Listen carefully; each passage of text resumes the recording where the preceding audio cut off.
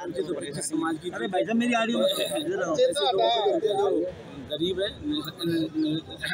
निसहाय और आम जनता की जीत है ग्वालियर की जनता की जीत है। जिन्होंने ग्वालियर की जनता का मैं धन्यवाद देता हूँ कि ग्वालियर की जनता ने मुझे इसलिए आशीर्वाद दिया।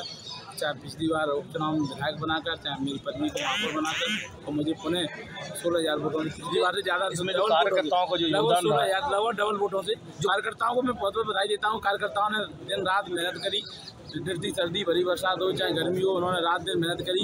मैं उन कार्यकर्ताओं का भी बहुत शुक्रिया अदा करता हूँ। कांग्रेस के जो हमारे कार्यकर्ता हैं उन्होंने बहुत मेहनत करी।